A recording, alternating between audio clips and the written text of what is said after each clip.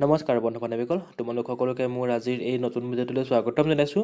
বন্ধু বান্ধৱীসকল বৰপেটাৰ district disaster management অথৰিটিত চাকৰিৰ পদ খালী হৈ আছে। খালী হৈ থকা পদটোৰ নাম হৈছে ফিল্ড অফিচাৰ আৰু ইয়াত তোমালোকক দৰমহা দিব বিছ হাজাৰ টকাকৈ প্ৰতিমাহে।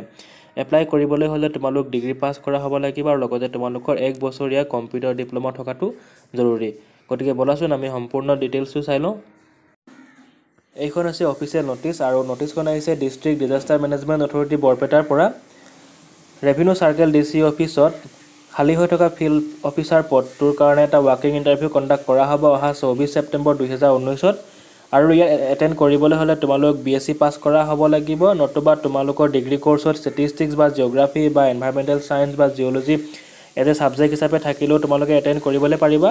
বা যোনবিলাক প্ৰাৰ্থীয়ে diploma in civil engineering course কৰি থৈছে বা আৰ্কিটেকচাৰ কৰ্চ কৰি থৈছে তেখেতো ইয়াত এটেণ্ড কৰিবলৈ পাৰিব। বয়সৰ ক্ষেত্ৰত একৈছৰ পৰা পঁয়ত্ৰিছ বছৰ বয়সলৈকে সময়সীমা বান্ধি দিয়া হৈছে আৰু তোমাৰ computer skills specially M S Word বা এক্সেল বা power point internet uses email এইবিলাক তোমালোকে ভালদৰে চলাবলৈ পৰা হ'ব লাগিব আৰু কেণ্ডিডেটজনৰ এক বছৰীয়া কম্পিউটাৰ ডিপ্ল'মা কৰ্চ কৰা হ'ব লাগিব যিকোনো গভৰ্ণমেণ্ট ৰিকগনাইজ ইনষ্টিটিউটৰ পৰা।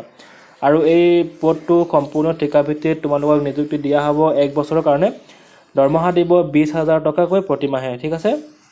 আৰু এশ মাৰ্কছৰ এটা ইণ্টাৰভিউ হ'ব আৰু সেই ইণ্টাৰভিউটোত গ্ৰেজুৱেশ্যনৰ পৰা আহিব পঞ্চাছ মাৰ্কছ ডিজাষ্টাৰ মেনেজমেণ্ট ৰিলেটেড ইছ্যুৰ পৰা আহিব বিছ মাৰ্কছ আৰু কম্পিউটাৰ নলেজৰ পৰা আহিব বিছ মাৰ্ক আৰু এটিটিউড এণ্ড পাৰ্চনেলিটি ট্ৰেইটৰ পৰা আহিব দহ মাৰ্ক ঠিক আছে?